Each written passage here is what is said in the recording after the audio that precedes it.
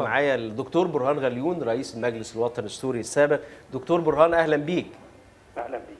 ال- ال- مش عارف حضرتك وصلتك قرارات الرئيس الدكتور محمد مرسي بالأمس فيما يتعلق بإغلاق السفارة وقطع العلاقة بشكل رسمي مع النظام السوري الحاكم الحالي.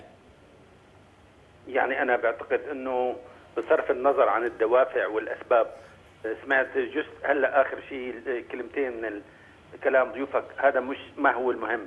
المهم إنه هي خطوة في الطريق الصحيح. مصر لا يمكن أن تبقى بعيدة عما يجري في المشرق وما يجري في المشرق يعني في سوريا وحول سوريا.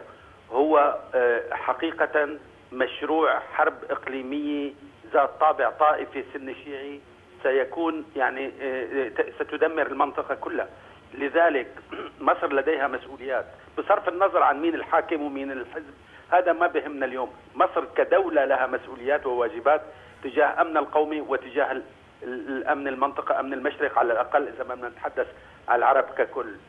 اللي خلى الإيرانيين وخلى حزب الله وخلى اليوم المنظمات الشيعية العراقية تنظم نفسها ويقولوا بدهم يبعثوا جيش هو الفراغ الاستراتيجي اللي تركوا تفكك العالم العربي.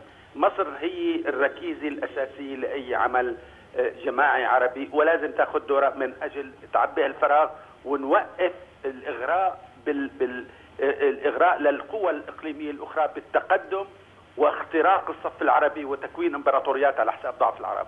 أعتقد أنه اليوم الأمور واضحة جدا.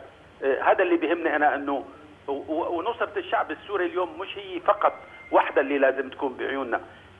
الرد على التحدي الفراغ الاستراتيجي وبناء حاجز حقيقي ضد ضد هيك حروب إقليمية ممكن تتفجر وما لازم نراهن ونضل معتمدين على تدخل القوى الأجنبية ولا على الأمريكان ولا على الأوروبيين، لازم تكون في قوة عمل عربية تحمي البلدان العربية وتحمي مصر، وأنا بعتقد إنه اليوم ضروري مش عقد مؤتمر قمه عربيه لنصرة الشعب السوري، عقد قمه عربيه لتفعيل اتفاقية الدفاع العربي المشترك وتكوين قوة عسكرية عربية بحد ذات إعلانها والعمل فيها سيردع الآخرين من التقدم على حساب اختراق الصفوف العربية وعلى حساب العالم العربي. أنا بعتقد أنه اليوم نحن في لحظة خطيرة من ما يتعلق بالأمن القومي المصري والعربي وعلى مصر أن تأخذ دورها وبدون لا يمكن تحقيق بدون مصر بقصد من الصعب أنه تتقدم خطوة من هذا النوع في المشرق العربي. دكتور برهان غليون الرئيس الأسبق للمجلس الوطني السوري شكرا جزيلا لك دكتور.